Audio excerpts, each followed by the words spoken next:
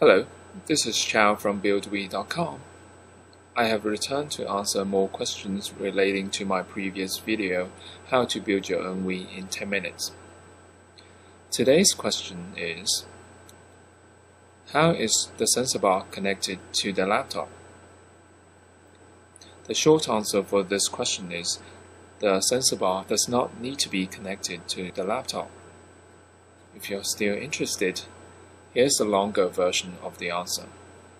To answer this question properly, we must first go over one of the biggest misconceptions about how the Wii system works. For many people, the sensing component of the Wii system is the sensor bar. In this view, the motion of the Wii remote is picked up by the sensor bar, and then this information is transmitted to the Wii system via this cable. But this cannot be further from the truth. Here comes the shocker. The sensor bar does not sense anything. In reality, the sensor bar only emits infrared light from its four LEDs. The sensing component is in fact the Wii remote. If you look at the front of your Wii remote, you will see a black region. Behind there is a small camera that sees infrared light. This is what the camera sees. Now, if you move the Wii remote to the left, the lights on the sensor bar will move in the opposite direction, to the right, and vice versa. When you move the Wii remote closer to the sensor bar, however, the dots will become bigger as well as the distance between them will grow. So what this means is that by observing the motion of the infrared dots, we can tell how the Wii remote is moving.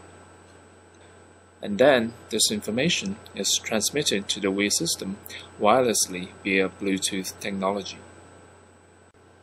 This brings us to the final piece of the puzzle.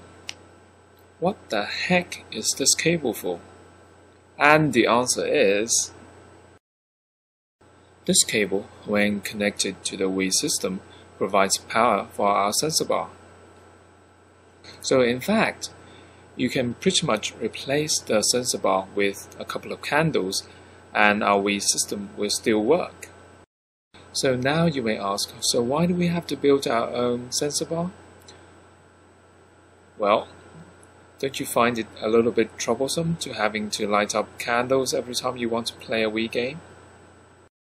And the second reason is we don't want you to burn your house down. Okay, a quick recap on what we have learned today. This is what a real Wii system looked like.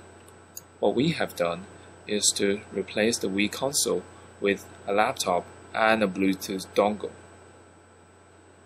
And then we built a custom-made sensor bar to replace the Wii sensor bar. Together with the sensor bar, the Wii remote detects its own motion and transmits this information via Bluetooth technology to our laptop. And there, ladies and gentlemen, is why the sensor bar does not need to be connected to our laptop and how our system works. For further information, please check out my website at buildwii.com.